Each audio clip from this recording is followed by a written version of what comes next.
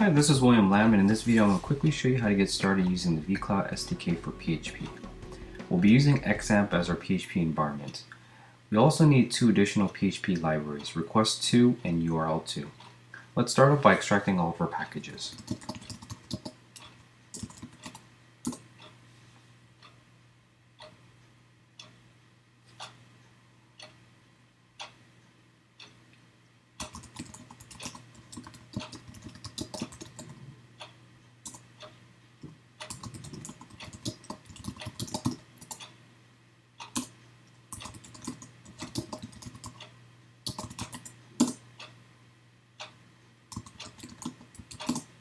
Now that we have all of our packages extracted, let's go ahead and install XAMPP. The extracted directory is called LAMP, and we'll move this under the op directory. Next, we'll need to move the request2 and URL2 PHP files into the lib PHP directory. Let's start off with request2.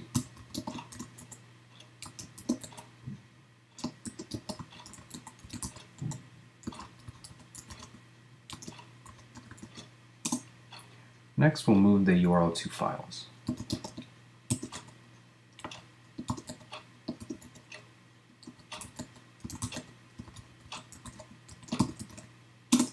And finally, we'll move the vCloud libraries over.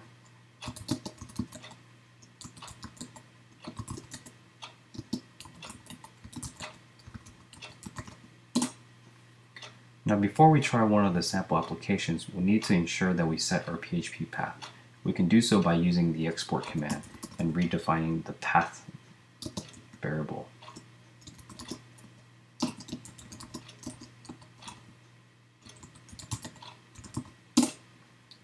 Now you should be able to type which PHP and it should point you to op lamp bin PHP.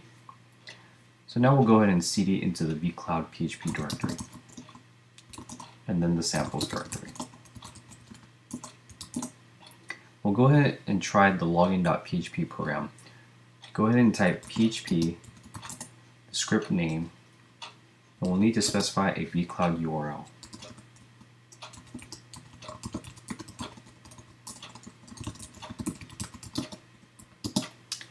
We'll then need to specify a username, which is a username for a particular organization.